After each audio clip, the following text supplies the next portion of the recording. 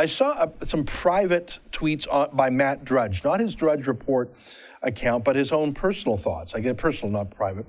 And, and he implied that if Trump continues, you will see massive, massive street protests. And I think he's right.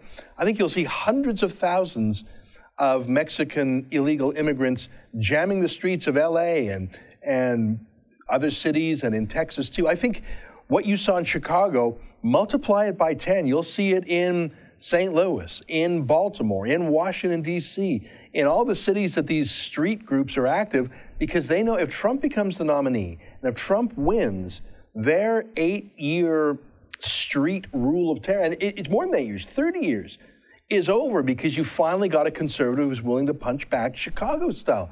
I think that this is really the last key moment for conservatives and severely normal Americans to say, we do not want to give a heckler's veto to these violent groups.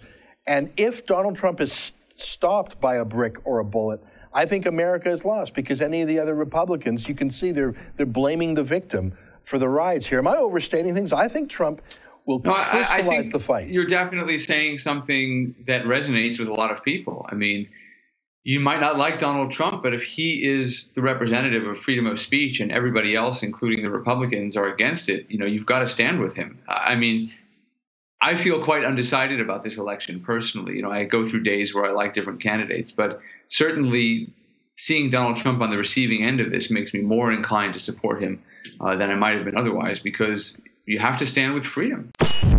Thanks for watching. Click here to never miss a Rebel update. Want even more of the Rebel? Well, click here to become a premium member.